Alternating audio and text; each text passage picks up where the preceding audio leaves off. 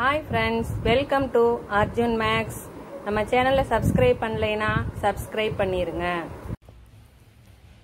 Hello friends இப்போ நம்ம twelfth maths exercise three point ஒனில் எயித்து சம் பார்க்க போகிறோம் ஆல்ஃபா பீட்டா காமா டெல்டாங்கெல்லாம் வந்து ஒரு பால்நாமியிலுடைய ரூட்ஸ் அப்படின்னு எடுத்துக்கிறாங்கப்பா. ஒரு ஈக்குவேஷன் கொடுத்துருக்காங்க.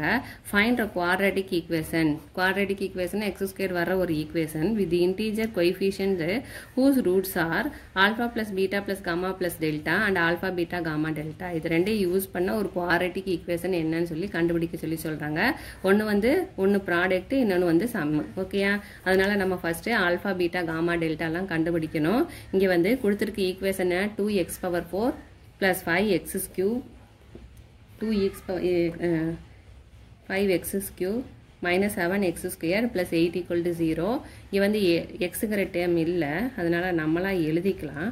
Five x's cube minus seven x square அடுத்தது plus x plus eight equal to zero நம்ம இந்த ஃபார்மேட்டில் இருந்ததுன்னு சொன்னால் இந்த ஃபார்மில் யூஸ் பண்ணுவோம். இங்கே plus minus plus minus after that ப்ளஸ்ன்னு சொல்லி மாறி மாறி வர வேணும். ஸோ ஃபஸ்ட்டு நம்ம கணக்கில் என்ன கொடுத்துருக்காங்க? ஆல்ஃபா பீட்டா காமா டெல்டா கொடுத்துருக்காங்க. இந்த டைம் கண்டுபிடிக்கணும். அதுக்காக அதுக்கு முன்னாடி இந்த ஃபஸ்ட்டு டைம் எப்பவும் எப்படி இருக்கணும்? சிங்கிளாக இருக்கணும்.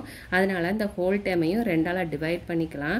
அப்போது இங்கே மேலையும் கீழே ரெண்டுங்கிறனால கேன்சல் ஆகி எக்ஸ் பவர் ஃபோர் வரும். இந்த டைம் டைமில் ரெண்டால் டிவைட் பண்ணும்போது five by two x cube இந்த டைம் ரெண்டால் டிவைட் பண்ணும்போது seven by two x squared இந்த டைம் தேவையில்லை நமக்கு.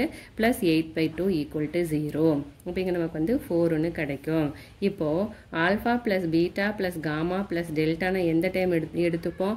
எக்ஸஸ் கியூபுக்கு உண்டான இந்த டைம் எடுப்போம். இந்த டைமில் வந்து என்ன இருக்கணும்? மைனஸ் இருக்கணும். ஸோ இங்கே ப்ளஸில் கொடுத்துருக்கனால மைனஸ் ஃபைவ் பை டூன்னு எடுத்துக்க போகிறோம் அடுத்தது alpha alpha beta gamma delta இதோட ப்ராடக்ட் ப்ராடக்ட்டு ப்ராடக்ட்னு சொன்னால் இந்த கடைசி டேமு கடைசி டேம் வந்து ஃபார்முலாலையும் ப்ளஸில் தான் இருக்குது கடைசி டேமோட வேல்யூ என்ன? ஃபோர் ஓகேயா ஸோ இது ரெண்டையும் எடுத்துட்டு நம்ம குவாட்ரேட்டிக் ஈக்குவேஷன் பண்ண சொல்கிறாங்க இப்போ எக்ஸ் ஸ்கொயர் ப்ளஸ் இது ரெண்டோட மூலங்களின் கூடுதல் சொல்லுவோம்லப்பா.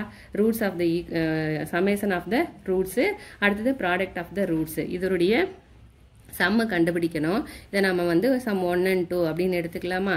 அப்போ alpha one plus beta one into x அடுத்தது இதோட product alpha one beta one equal to zero அப்போ வந்து எக்ஸ் ஸ்கொயர் ப்ளஸ் இந்த வேல்யூஸ் இதில் சப்ஸ்டியூட் பண்ணும்போது minus five by two plus four into x இதோட ப்ராடக்ட்னா minus five by two into four that is equal to zero two two jar four இங்கே டூவை common denominator எடுத்தோம்னா இது ரெண்டையும் கிராஸ் மல்டிப்ளிகேஷன் பண்ணும்போது எயிட்டுன்னு கிடைக்கும். இப்போ எக்ஸ் ஸ்கொயர்ட் இதுலேருந்து இதை மைனஸ் பண்ணும்போது த்ரீ பை டூ எக்ஸ் அடுத்தது இங்கே வந்து ஃபைவ் டூ சார் டென்னு plus into minus minus ten equal to ஜீரோன்னு கிடைக்கும். இந்த டூவை இங்கேயும் மல்டிப்ளை பண்ணணும் இங்கேயும் மல்டிப்ளை பண்ணணும். அப்போ நமக்கு என்ன வேல்யூ கிடைக்கும்? அதாவது காமன் டினாமினேட்டர் எடுக்கும்போது two x square plus three x minus ten equal to zero இந்த டூவை ஜீரோவோட நம்ம கிராஸ் மல்டிப்ளிகேஷன் பண்ணும்போது நமக்கு கிடைக்கிறது two x square plus three x minus ten equal to zero இதுதான் உங்களுக்கு தேவையான குவாட்ரேட்டிக் ஈக்குவேஷன் கொடுத்துருக்கிற வேல்யூவோட சம்மை கண்டுபிடிச்சு கொடுத்துருக்கிற வேல்யூவோட ப்ராடக்டை கண்டுபிடிச்சோம்னா நமக்கு ஒரு ஈக்குவேஷன் கிடைக்கிது. இதை தான் கண்டுபிடிக்க சொல்கிறாங்க